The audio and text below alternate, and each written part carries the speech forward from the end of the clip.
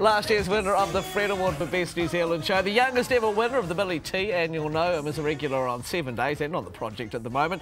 He's taking things seriously, though, in his new show, which is hard to believe. So, what's it all about? The show is Rhys Classic. Please welcome to the cafe, Rhys Mathewson. How are Rhys? Oh. Oh, thank you for having me. I'm very well. How are you, Mike? Yeah, good. Hey, you enjoy the project? Oh, loving it. Yes. Oh, it's so stressful. Okay. well, like on the project, time is out, so... yeah. okay, so tell us about your new show. You, you being all serious. What's that about? Oh, well, I mean, that's the thing. When you've got an hour, to, you kind of want to explore some things and hopefully make some sort of point rather than just leaving people with laughs. You want to leave them with something a little bit extra. And rather than, you know, nudity or anything like that, I figured I'd try and make a, a salient point. Oh, nice. And you turned 30. Was this, is that right? God, God no, I'm 26. Oh, someone told me you turned oh, 30. That is wonderful for my self-esteem. I'm I so sorry about that. I thought that's why you got serious. No, no, no. Okay, sorry about that. Wrong person. and how is being 50? Yes. well, the drugs are working.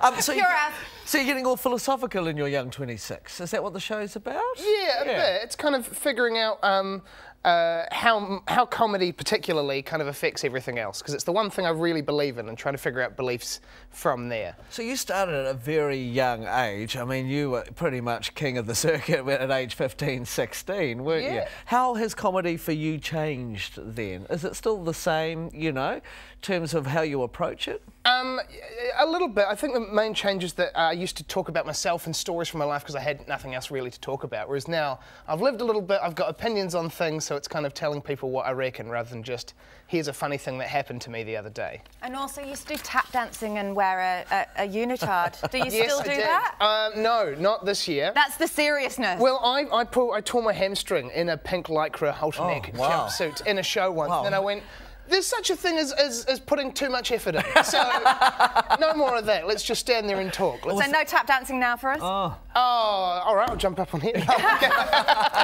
Hold you to that. I know, we need to find that clip, don't we? Okay, um, you know, what when you you know, we, with the show, once it's finished, what happens next? Because you are very busy at the moment. Uh, what have you got after this show? Then it's back to working on the project. I work behind the scenes as well as on the camera all the time. Uh, and then gigging around the country. So rather than, you take the stuff that you use in each year's festival show and you kind of chop it up into bits and you go around making people laugh with it.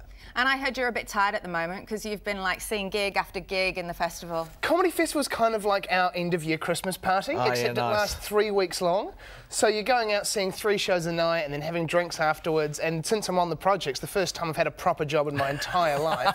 So having to wake up in the morning going, I have not had enough sleep. So I've been having a lot of vitamin C shots. Let me, let me tell you.